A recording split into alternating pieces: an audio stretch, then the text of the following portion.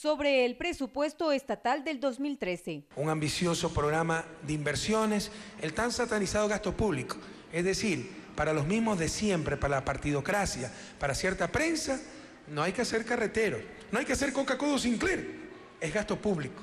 ¿Cuánta limitación, Dios mío?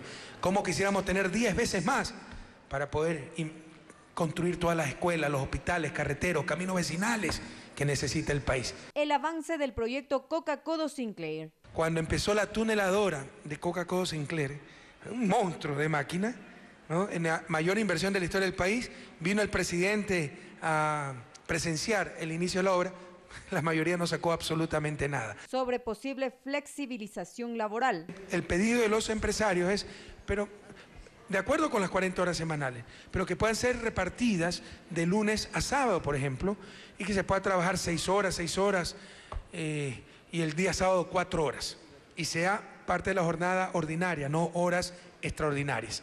Y acción de protección negada a Fundamedios. Me informan que hemos vencido en esa barbaridad que presentó Fundamedio, una verdadera cantinflada jurídica. Sobre el caso Cofiec. Ya quedan en ridículo, ya no saben qué hacer. Si ustedes creen, crean esa prensa corrupta, ustedes saben que nosotros no mentimos y somos gente honesta. Yo ni conozco a este señor Dusac. Es una monstruosa mentira que viajó a Irán con la delegación ecuatoriana. Nunca viajó. Y si hubiera viajado, no hubiera tenido nada de malo. Como tanto empresario que viene al país a ofrecer servicio. Parece que este señor ha sido un estafador. Pero ¿cómo podemos diferenciar entre un buen empresario y un estafador? Ratificación de negar entrevistas de ministros a medios de comunicación privados. Vamos a informarle al pueblo ecuatoriano.